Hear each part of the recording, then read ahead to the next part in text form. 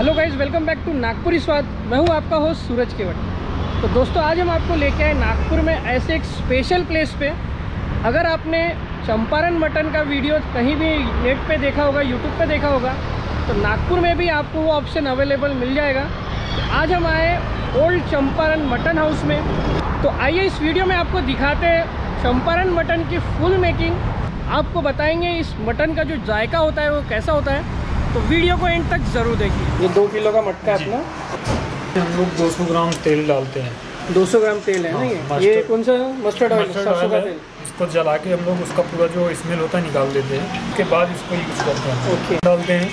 एक लहसुन की और तीखे के अनुसार हम लोग रेड मिर्ची यूज़ करते हैं। ओके। जिसको जैसा तीखा चाहिए हम लोग फ़िलहाल तो नॉर्मली बनाते हैं। अच्छा अच्छा। उन्हें नागपुर वालों को थोड़ा स्पाइसी चाहिए तो हाँ तो स्पाइसी अभी कर रहे हैं। बढ़ाते हैं। हाँ जी। चॉप प्याज जी। हैं ये अभी वेटिंग चालू हो गया ये वेट के हिसाब से सब जाएगा हंडी में? दो किलो के इसमें हम लोग 700 ग्राम प्याज डालते हैं। अच्छा। ठीक है। दो किलो वेट में 700 ग्राम प्याज। उसके बाद एक गार्लिक पेस्ट है। ओके। हम लोग इसको 100 ग्राम डालते हैं garlic paste garlic paste 100 gram जाएगा जी। हैं। ये है अपना स्पेशल हाँ, मसाला बस यही मसाला हमारे मटन में जाता है बाकी और कोई मसाला नहीं जाएगा और कोई मसाला नहीं जाएगा। बाकी कुछ नहीं जाएगा। कुछ भी नहीं। इसको हम लोग डालते हैं दस चम्मच। दस चम्मच ही जाएगा। यानी ये दो किलो मटन का अपना प्रिपरेशन हो रहा है? हाँ। ओके दो किलो मटन का प्रिपरेशन हो रहा है। दस चम्मच जाएगा। तो ट्रांसफ़र करते मिक्स करने के लिए अच्छा। इसको अलग से इसमें 200 ग्राम ऑयल डालेंगे। अच्छा इसमें ऑयल अलग से और जाएगा है ना? पहले मिक्स करेंगे। अच्छे से। अच्छा इसमें अलग से ऐसे मिर्ची पाउडर ये वगैरह कुछ नहीं नहीं? हम लोग कुछ नहीं यूज़ करते कुछ नहीं है ना वो मसालों में ही सब है आपके? जी यही मसाला जो हम लोग डालते हैं अवना मसाला है इसका नाम। अच्छा औना मसाला जो स्पेशल जो मसाला होता है। जी ये हमारे होम टाउन से आता है। होम टाउन से वहाँ से बिहार से आता है जी बिहार से आता है। अच्छा। इसी पे सारा चीज़ पकेगा प्याज में पूरा मटन अच्छा। इसी पे पकेगा हम लोग अलग से और कुछ नहीं मिक्स अलग कुछ भी नहीं करना कुछ भी नहीं कुछ भी नहीं करना ओके। और ये इसको अभी कितना टाइम लगता है हांडी को अपने ये पकने में? एक घंटा चालीस मिनट जाता है। एक घंटा चालीस मिनट धीमी आँच में पकाते हैं मीडियम आँच पे मीडियम आँच में। अभी ये मसाला रेडी है। ओके अच्छा मटन भी कुछ स्पेशल होता होगा ये? नहीं मटन सेम है। सेम अपना नॉर्मल जो मटन है ऐसा स्पेशल नहीं है इसको हम लोग डालते हैं 1200 ग्राम। ये 1200 ग्राम जाएगा। जी। किलो की जो हंडी होती हाँ, है उसमें बारह सौ ग्राम मटन होता है। और बाकी मसाला वगैरह मिलके पूरा दो पूरा दो किलो दो किलो का बनता है। ग्राम मटन हो गया। उसके बाद इसको हम लोग उसी मसाला में डालेंगे। और फिर ये मसाले को मिक्स करेंगे। अच्छा। जी। तो दिन भर में कितना सेल हो जाता है मटन ही अपना? टोटल गिन मटन का सैटरडे फ्राइडे से संडे मिला के लगभग मुझे अस्सी किलो के आसपास निकल जाता है अच्छा अच्छा। यानी जो बाकी दिन नॉर्मल रहता है तो दस किलो पंद्रह किलो। अच्छा। जी। ओके। अपने पास जैसे थाली भी ऑप्शन अवेलेबल हाँ है? थाली ऑप्शन अवेलेबल है। थ्री हंड्रेड का थाली है। 300 की थाली है? उसमें चार रोटी है हाफ़ राई है अच्छा। दो सौ ग्राम मटन है। 200 ग्राम मटन जी। ओके। और किसी को हांडी होना तो सोलह सौ रुपये की हांडी है। सोलह सौ रुपये किलो? मेनू कार्ड का है। फ़िलहाल नया होने के कारण हम लोग चौदह सौ में ही दे रहे हैं। अच्छा अभी डिस्काउंट चल रहा है ऑलरेडी डिस्काउंट दे रहे डिस्काउंट दे रहे। हो? ओके। अभी मसाला मिक्स हो गया है। ये मसाला हो गया मिक्स अब इसको हम करेंगे हांडी में? तो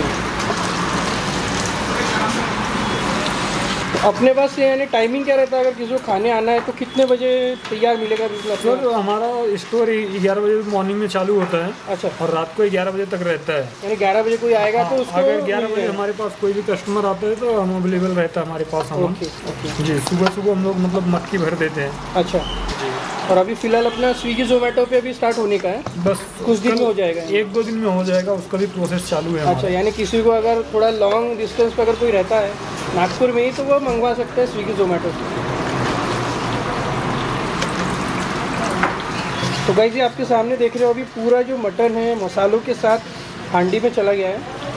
और इन्होंने जो स्पेशल मसाले वगैरह इसमें यूज़ किए हुए हैं। अभी हांडी जाएगी कोयले जो लकड़ी का कोयला यूज़ होता है ना जी, जो इस पे लकड़ी के कोयले में मीडियम आँच पे पकेगा।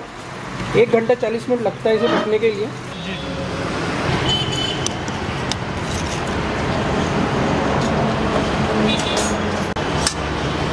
तो गाइस ये रेडी हो चुका है आपके सामने में जो इनका ओल्ड चंपारण मटन हाउस का चंपारण मटन 200 ग्राम जो मटन है उसकी प्लेट लग रही है ना? एंड अपने पास तीन सौ रुपये में थाली अवेलेबल है ना? जी सर इसमें कितने पीसेस वगैरह होते हैं मटन के ऐसा कुछ?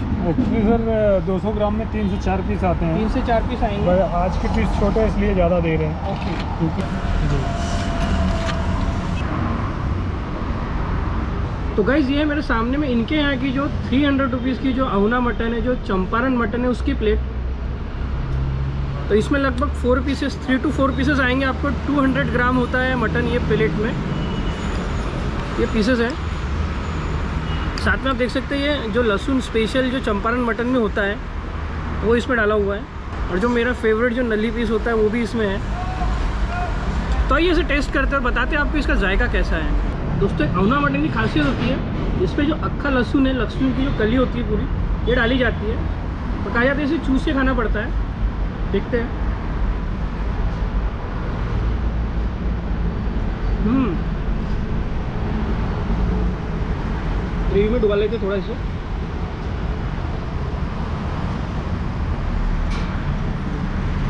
हम्म।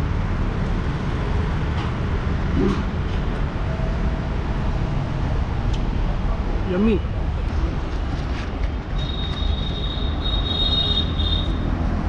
आप देख सकते हैं जो मटन है प्रॉपर यहाँ पे कुक हुआ हुआ है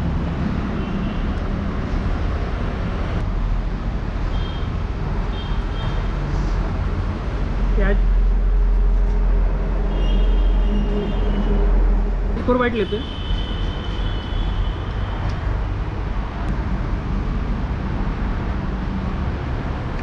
हम्म।